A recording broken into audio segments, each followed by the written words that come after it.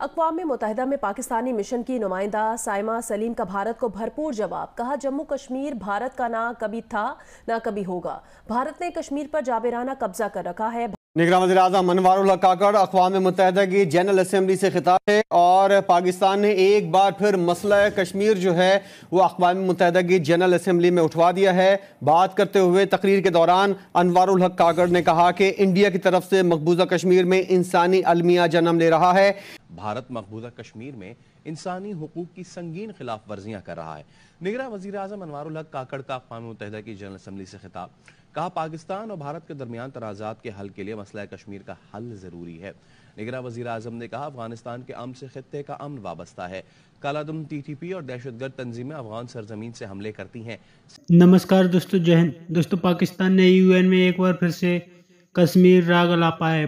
पकारिस्तान के कर, कार्यवाहक प्राइम मिनिस्टर अनवर हलक काकड़ ने कश्मीर पर बयान दाग दिया है, क्योंकि इस वक्त भारत और कनाडा के बीच चल रहे विवाद में पाकिस्तान जम करके दिलचस्पी ले रहा है, क्योंकि पाकिस्तान को लगता है कि भारत को अब तो हम टेररिस्ट कंट्री डिक्लेयर करवा कर ही रहेंगे, क्योंकि भारत ने जिस तरह से पाकिस्तान को दुनिया के सामने नंगा कर दिया, उससे पाकिस्तानी चाहते हैं किसी भी तरीक़ा से भारत से बदला लिया जाए। दुनिया को पता है कि पाकिस्तान दुनिया का सबसे बड़ा आतंकवादी देश है, उसके बावजूद भी भिखारिस्तान कभी अपनी तरफ़ मुड़कर देखता ही नहीं है। यूनाइटेड अरब एमिरेट्स और अमेरिका भी मौजूद है।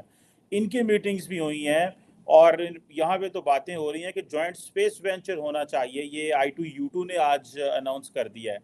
डॉक्टर साहब, हमारे वज़ीर अजम उधर कहते रहे हैं कि मैं जो, हम जो है वो चाइना के इसराइल हैं।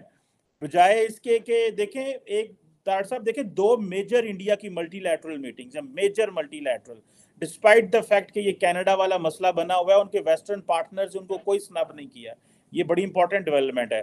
आप कैसे देखते हैं? हमारे प्राइम मिनिस्टर ने चलो एक दो थिंक टैंक्स में उन्होंने बात की है बाकी तो बायलैटरल बातें चल रही हैं। इसका मतलब है कि मल्टीलैटरली जो इंटरनेशनल इंस्टीट्यूशंस हैं उसमें इंडिया तगड़ा है और हम सिर्फ़ इंडिविजुअल बात मीटिंग्स कर रहे हैं जिसका मैं जाती तौर पे समझता हूँ कि इस तरह के बड़े फोरम पे ते लंघने ही मुलाकात नहीं हो जानी है। So there is nothing interesting on that इस पे जरा नथिंग इंटरेस्टिंग और चीमा साहब मैं ये बल्कि ये कहूँगा चीमा साहब इसमें क्या ये सूट करता था कि अमेरिका की? On the on the soil of America आप आके कहें कि we are Israel to China ये सूट करता था? आपके जो होस्ट है उनको कैसा लगा होगा? उनकी क्या फीलिंग्स होंगी इसमें? एक तो ये बात करना चाहूँगा। और दूसरा आप uh, किस तरीके से इसराइल है चाइना के के साथ आईएमएफ के पैकेज भी आप आप uh, कोशिश करते हैं कि वो भी मिले? और फिर आप उनसे अगर आईएमएफ वाले आज आपको कर, और दूसरा पिछले साढ़े तीन साल आपने सी पैक बंद करके रखा है, बिल्कुल पिछली गवर्नमेंट ने पीटीआई गवर्नमेंट ने। आप किस किस्म के इसराइल हैं? यहाँ पे ये बताना चाहूँगा कि अमेरिका का इसराइल बनना इतना आसान नहीं है। अमेरिका की फॉरेन पॉलिसी का हिस्सा है almost unconditional support of Israel और दूसरी सबसे बड़ी बात यह है कि इसराइल जो है उसको कहा जाता है कि the only true democracy of Middle East. एक, और दूसरा, इस वक्त टेक्नोलॉजी पे जो ग्रिप इसराइल की है और डिफेंस आर्मामेंट जो है, उसमें इसराइल का they they don't have any competition इस वक्त जो भी आईटी का स्टार्टअप है, वो शुरू इसराइल से होता है। तो वो, उसके साथ बात करने की हद तक आप कर सकते हैं, लेकिन अगर देखा जाए तो चीमा साहब, ये बात थी बात होनी चाहिए ऐसे कि आपके, आपको चाइना का इसराइल होना चाहिए, लेकिन आप नहीं हैं, उसकी वजह क्या है? आपका सिर्फ़ चाइना के साथ एक रिलेशनशिप है, दो रिलेशनशिप मैं आपको बताना चाहूँगा। एक तो आप मुसलसल भारत की दुश्मनी बेचते हैं उनके लिए, उनके सामने, उनके साथ, उस चीज़ का फ़ायदा उठाते हैं आप। दूसरा उसका आप फ़ायदा ये उठाते हैं कि किक बैक्स चाइनीज़ कल्चर का हिस्सा है किक बैक्स और करप्शन आप वहाँ पे प्रोजेक्ट करते हैं और उसकी किकबैक आपको लंदन में मिल जाती है, ये आपका दूसरा फेवरेट रिलेशनशिप है उनके साथ। इसके अलावा तीसरी कोई चीज़ है ही नहीं, अगर देखा जाए। और तीसरी क्या चीज़ होनी चाहिए, आप किस, आप ना सिर्फ़ चाइना से मुखलस नहीं है, आप किसी के साथ भी मुखलस नहीं है। आप अफ़गानिस्तान के साथ मुखलस हैं, जिसके पीछे आपने सारा कंट्री तबाह कर दिया, अगली जनरेशन सारी तबाह कर दी है। आज वो भी आपके साथ नहीं है, ईरान के साथ आप नहीं है, भारत के साथ आप नहीं है।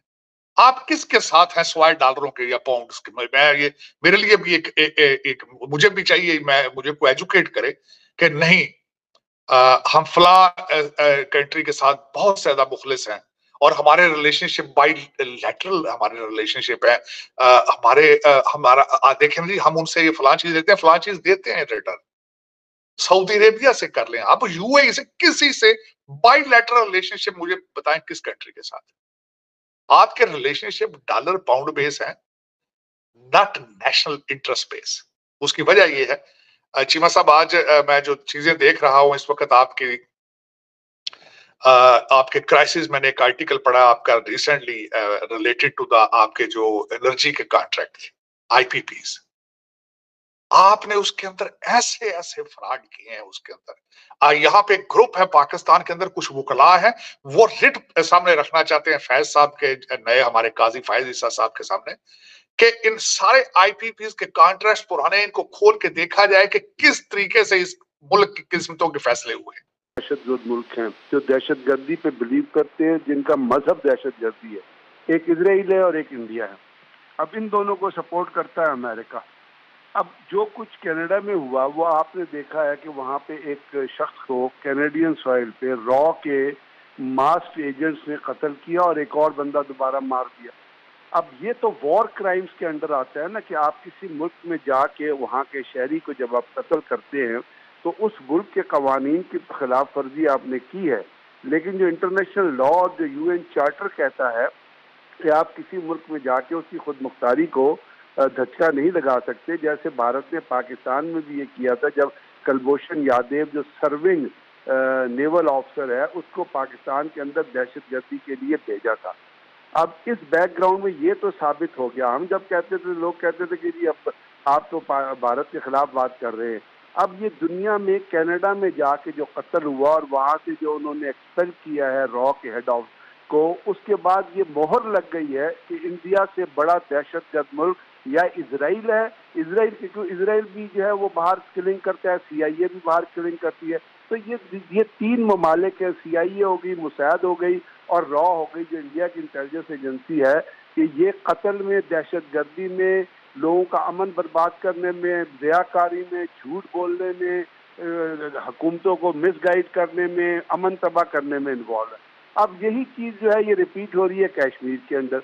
पर पाकिस्तान बारहा यूनाइटेड नेशन असम्बली को भी बता रहा है अमेरिकन को भी बता रहा है वेस्ट को भी बता रहा है कि ये किस तरह कश्मीर के अंदर चौदह इन्होंने एंटी अपना human anti human rights laws लगाए हुए हैं। Jammu and Kashmir special act Jammu and Kashmir public act Kota उसके बाद टाडा और पता नहीं कौन जिससे ये लोगों को मारते हैं। पाकिस्तान तो हमेशा ये कहता रहा कि हिंदुस्तान पाकिस्तान के अंदर दहशत गर्दी करता रहा है और जो हिंदुस्तान को बेलगाम आप एक तरह से कह सकते हैं इमदाद की गई है बैन अवी दुनिया की तरफ़ से बिलखसूस मगरबी ममालिक की तरफ़ से। कश्मीर के मामले पे बाकी मामला पे जैसे कि ट्वेंटी सभा इनका करने का मतलब एक चीज़ जो है सामने देखने में नज़र आई।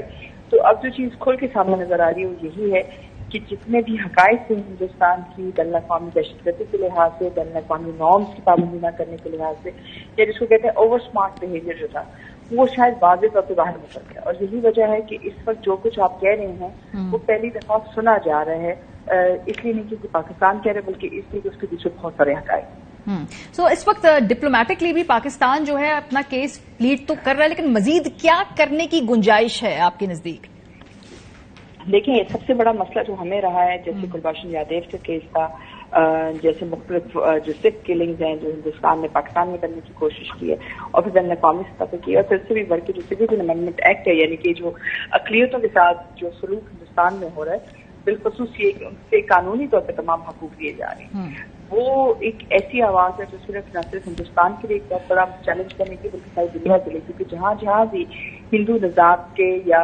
हिंदुस्तानी जो है बैन अवी दुनिया के अंदर मौजूद हैं और कल हिंदुस्तान उनकी शहरीत जो है मअतल करता है तो फिर ये बहुत बड़ा एक चैलेंज बन जाएगा जो एक ग्लोबल चैलेंज के अंदर कन्वर्ट हो सकता है। हम्म। ऐसी सूरत में सूरत हाल ना सिर्फ़ आपको कौन मुहिदा में बात बात करनी होगी बल्कि जो कौन मुहिदा में रेजोल्यूशन है security council resolution one three seven three उसके तहत भी हमें कुछ कार्रवाई करना ज़रूरी है। सही तो दोस्तों, जिस तरह से पाकिस्तान दुनिया के खूंखार आतंकवादियों को पालता है, उससे, उसके बावजूद भी पाकिस्तान भारत को टेररिस्ट कंट्री डिक्लेयर करवाना चाहता है। लेकिन दुनिया को पता है कि किस तरह से पाकिस्तान ने Osama bin Laden, Hafiz Saeed जैसे खूंखार आतंकवादियों को जगह दे रखी है। उसके बावजूद भी पाकिस्तान अपनी तरफ़ ना देख करके भारत पर एक के बाद एक बयान दागता रहता है, क्योंकि पाकिस्तान को इस वक्त मौका मिल चुका है। पाकिस्तान को भारत के खिलाफ बयान दागने के लिए कभी कभार तो मौका मिलता है बेचारा उसका फ़ायदा उठाने की कोशिश तो पूरी करता है, लेकिन भिखारियों की इतनी औकात भी नहीं है, क्योंकि पल्ले तो इनके कुछ है नहीं, खाली इनके बड़बोले ही है।